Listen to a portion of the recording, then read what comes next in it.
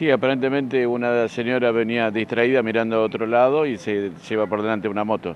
No la, no la ve, la embiste y bueno, por suerte mm, son heridas leves y, bueno, dentro de todo es normal. Tendieron el lugar y aparentemente está bien, fue un golpe nada más, raspones y está, como lo vemos ahí, está, está bien. Sí, lo que pasa es que aparentemente la chica de la moto la vio que iba mirando para el otro lado. Aparentemente se metió en la avenida sin, sin mirar.